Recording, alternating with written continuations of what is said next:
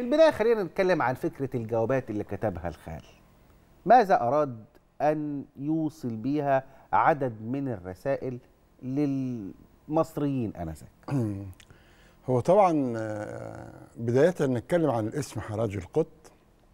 حراج الاسم منتشر في محافظة قنا وجاي من حرجة حاجة اسمها الحرجة. حرجة دي مكان آه، وهو اسم حاد شوية. و و ومعروف يعني.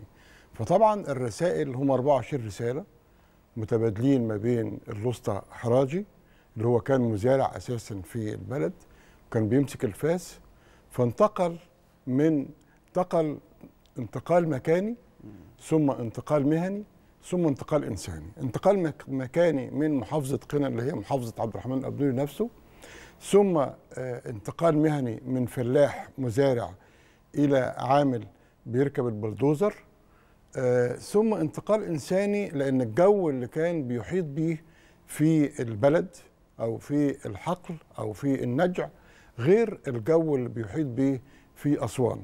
أسوان طبعا أكثر يعني حرارة. آه نعم. أكثر حرارة. آه لا الجو الإنساني يعني يعني هناك الإنسان الأسواني مختلف إلى حد كبير جدا عن الإنسان في قنا.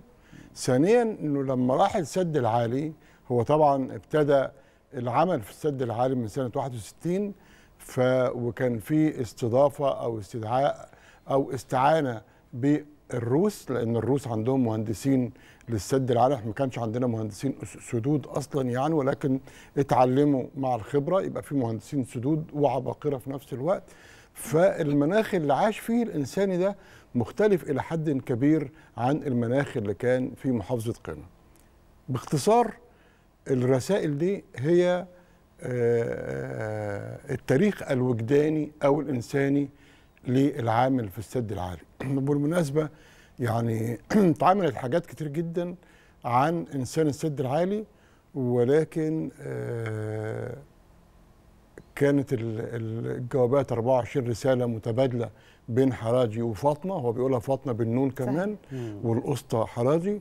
آه، في كتاب صدر في سنة 67 لصنعان الله إبراهيم وكمال القرش ورؤوف مسعد اسمه إنسان السد العالي. برضو عن العامل. وفي كتاب تاني برضو اسمه تا- التاريخ الإنساني للسد العالي وده مجموعة شهادات لعمال ومهندسين آه، ده كتاب مهم صدر من سنوات لكاتب آه، المعروف يوسف فخوري. فالرسائل اولا آه، نقدر نقول ان إن الأبنودي لم يطرح فيها سيكولوجية أو نفسية آه، حراجي فقط لا غير ولكن آه، طرح ناس كتير جدا آه، الوسطى طلعت المهندس طلعت لأنه بيقولوا عليه اسطى هناك اللي هو خده من إيده وعلمه حاجات كتيرة جدا هو اللي خده من إيده من أول ما كان فلاح ولحد ما راح السد وبدأ ينقله من خطوة إلى خطوة نقلوا من طور. الفلاح لطور العامل. بالظبط كده. في نفس الوقت تشعر حتى من جوابات هو من جوابات فاطمة إلى حراجي.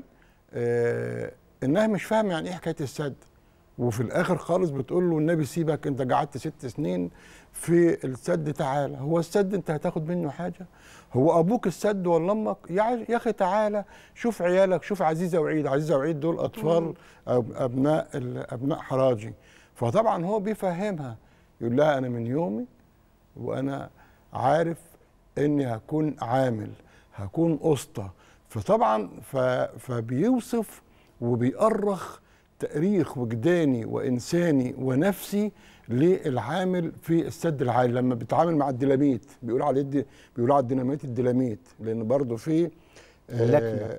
اللكنة وفي يعني لما تقرأ لحضرتك الكتاب كله كتاب الرسائل هتلاقي لما أنت سمعت دلوقتي البص البص ده إيه البص ده هو ال- انت عارف كوز الذرة؟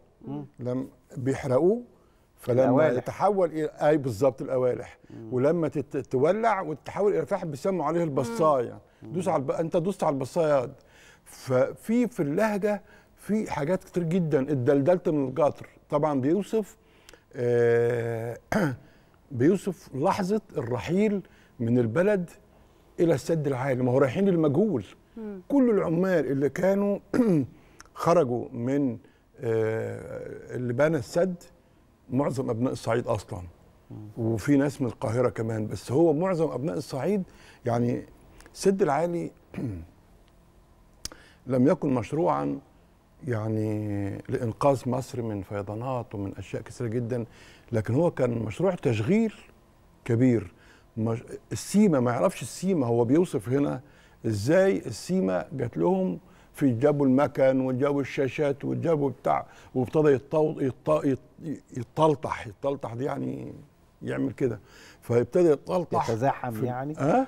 يتزاحم يعني؟ حاجة كده آه, آه. فيتفرجوا على السيما وقعدوا على الأرض عشان يتفرجوا على السيما وعلى الشاشة وعلى حاجات ما كانوش يعرفوها. هو الإنسان اتغير.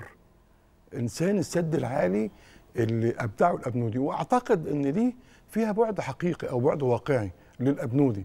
الأبنودي آه، آه، كان آه، في سنة 61 62 أعتقد هو كان في الجيش ولكن كان بيروح السد العالي. هو كان بيشتغل كاتب محكمة بالمناسبة ولكن إخواته وأهله ولاد عمه. فعارف إنك لما تقرأ الكتاب أو تقرأ الرسائل دي من أبدع ما كتب الأبنودي. يعني هو قادر على يعني مثلا عنده ديوان تاني اسمه جوع على الشط عنده ديوان تالت اسمه عماليات.